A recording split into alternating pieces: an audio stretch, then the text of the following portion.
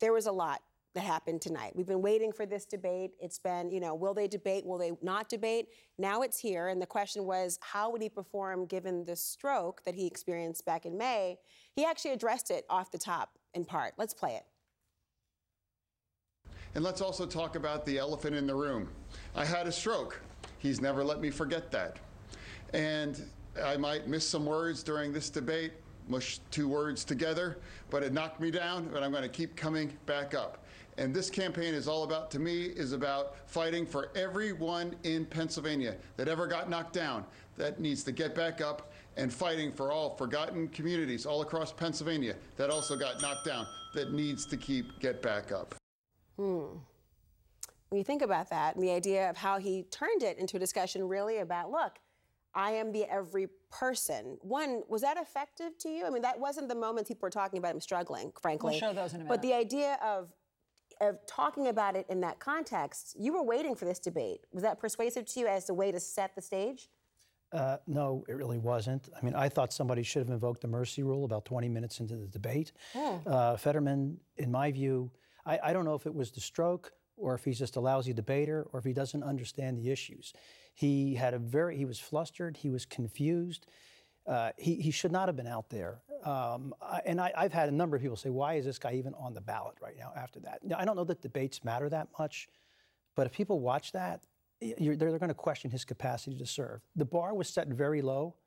It should have been set lower. Well, on that point, let's say the right. I mean, you talked about this too, Alyssa. The bar was set so low in the sense of, I mean, Dr. Oz, you know him because he's a television personality. Right, he and knows how to do. TV. He's been doing it for two decades. I mean, that's what John Fetterman was saying, but this was, I think, in a different category. It sounds like. So let's uh, listen to a moment where um, John Fetterman struggled, seemed to struggle. I'm also having to talk about something called the Oz rule that if he's on TV, he's lying. He did that during his career on his TV show. He's done that during his campaign about lying about our record here. And he's also lying probably during this debate. I want to bring civility, balance, all the things that you want to see because you've been telling it to me on the campaign trail. And by doing that, we can bring us together in a way that has not been done of late. Democrats, Republicans talking to each other. John Fetterman takes everything to an extreme, and those extreme positions hurt us all. Okay, Alyssa, your thoughts as you watched that? So listen, Dr. Oz has the advantage of a career in TV. He's an excellent communicator, but that wasn't why he won tonight's debate. He hit on every major issue that vo- voters are focused on: the economy, crime in Pennsylvania, huge issue, energy. He had substance behind him, and there was this unifying general election message. I, I want to be careful because I think some of the most consequential leaders in history have had different kinds of disabilities. I don't think it should preclude someone from serving. But what we saw today was someone who is not ready to be in office. And the lack of transparency leading up to this, I think, actually shocked people watching it. Like, I found it extremely hard to watch. Um, and the question that I found myself asking is, is the way that he's struggling a result of the stroke, or is it because he doesn't have a grasp on the issues? He was asked a very direct question about his position on fracking. He could not explain why he fundamentally 180 changed his position on it. And the voters deserve to know that. I want to play that because honestly, and Tobin, I want to hear your take on this as well. Because what we've played so far, frankly, for the audience who may have not have seen these debates, I don't know that it's conveying that level of difficulty answering the questions as much as we're talking about it right now. I want you to respond, Tobin, but let's play the moment that you're saying, Alyssa, that really is suggestive and illustrative of the point you're making. I always believe that independence with our energy is, is critical, and we can't be held, you know, you know, ransom to somebody like Russia. You know, I've always believed that energy independence is critical, and I've always believed that, and I do support fracking. I do want to clarify something. You're saying tonight that you uh, support fracking, that you've always supported fracking, but there is that 2018 interview that you said, quote, I don't support fracking at all. So how do you square the two? Oh, uh, I, I, I do support fracking, and I don't, I don't, I support fracking, and I stand, and I do support fracking. Tobin?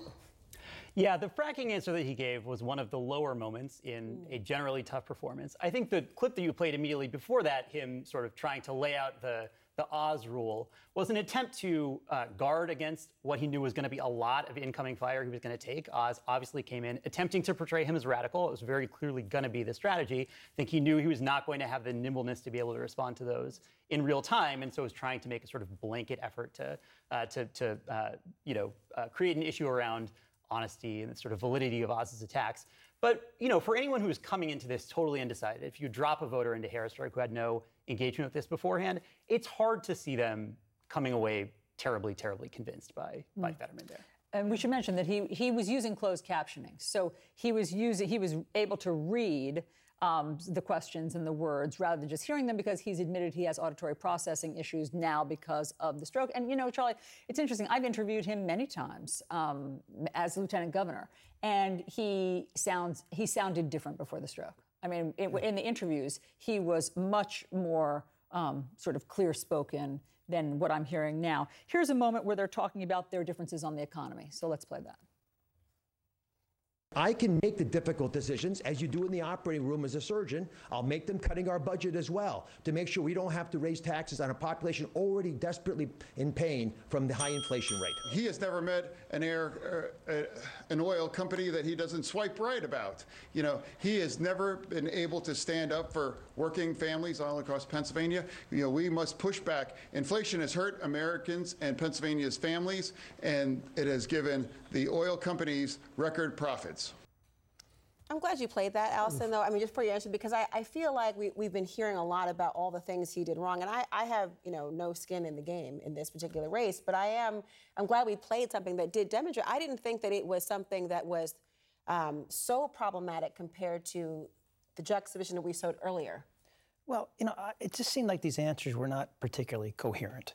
And I'm being kind when I say that. You know, on, on energy, Pennsylvania's the second largest gas producing state in the nation. I wanted to hear him explain his evolution. He couldn't do it. I support fracking. I support fracking. Well, he didn't, but he couldn't explain it. You know, we wanted to hear him talk about crime and his role on the Board of Pardons. And I didn't hear anything that explained his rationale for some of the decisions, highly questionable decisions that he made there. He wasn't able to articulate what it was that he stood for. And that's what was really troubling to me. And again, I, I feel I almost feel very sorry for him that you know he's in a bad bad way. But as a voter, I'm looking at this saying, how can I vote for somebody who I don't think is ready to do the job? Well, what do you think, Tobin? I'm curious because you you worked for um, you know the Vice President Joe Biden at the time, and truth be told, he was criticized at times for not being as nimble as he once was, obviously different reasons. He was criticized for the way in which he would articulate certain points, and there was always a bit of wind in the face of then candidate Biden on that very point. When you're looking at it from that perspective, do you see the same concerns that they're talking about? I think the strengths of President Biden as a campaigner line up in some ways with the strengths that that Fetterman has still as a campaigner, despite his impairments. I think he connects at the level of values with voters. I think his campaign is connected uh, uh, or made that a, a, very intentional focus. His kind of blue collar branding, I think, does make some of the lack of polish a little bit forgivable to some of the voters who are inclined to support him.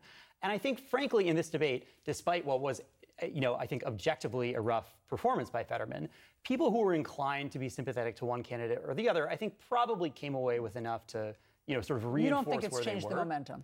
Uh, I mean, you know, given how many people genuinely watch these things, it's hard for me to see this, you know, being a big inflection point in the polling, given how tight things are. I mean, negative partisanship's very powerful. I think people have a lot of reasons to be where they are. This is the battle for control of the Senate. I think even more than the competence of the candidate, that's going to be But to, to put a finer point on this discussion, Joe Biden's very prone to gaffes. I've been critical of gaffes and misstatements and sometimes struggling to get, you know, different sentences out. But I've never been concerned that he has a grasp on the policy issues, even if I disagree with his policies. This was a candidate where I was genuinely unclear if he understood how to address crime, how to address the economy and inflation. And then when he did uh, try to lob attacks on Oz, they didn't land. Um, it didn't seem like he had a full grasp. He went after him on he wants to cut Medicare and, um, and Social Security. Oz was ready for it, and he wasn't able to articulate. So I'm not a Pennsylvania voter, but the momentum was very, very clearly on Oz's side here. You know, and it, we should note that there's already been over 640,000 pre-election votes that have already been cast. I'm one of them. And you, you're one of them. And 73% went to have gone, they think, to Democrats versus 19% to Republicans. So if it's the idea that look, the debates don't matter. I wonder to what extent this works, but there has been a really big issue, as we talked about this a lot, on the issue of immigration. I mean, for those issues that have not usually been the talking points in the state of Pennsylvania compared to other places, mm. they addressed that point tonight. Listen to this. I understand what legal immigration offers us, but the completely porous, open nature of our border, which John Fetterman supports, has created a humanitarian crisis with cartels profiting with human trafficking operations. They take the money, they buy narcotics from China. And bring that into our country, and it's making every state a border state. Pennsylvania is already a border state because we're top three in the country in fentanyl overdoses. I believe that uh, a secure border is can be compatible with compassion. I believe we need a comprehensive and bipartisan solution for immigration. That, that's what I believe. I don't ever recall in the Statue of Liberty did they say, you know, you know, take our tired huddle masses and put them on a bus and use cheap political stunts about them. What'd you think, Charlie? That's a that was a good. That was his best answer. That was, that was one of his better answers of, of the night. Uh, but again, I, I, I just am, I'm just still astounded. I'm still stunned by what I witnessed tonight, and that um, you know, and this is and they should have had more debates. By the way, I was one of the people. And this is a big state. There should be at least two debates, probably three. One in the Philadelphia market, Pittsburgh market, and then like tonight in Harrisburg. But he didn't want to debate for an obvious reason, and we, we witnessed it tonight.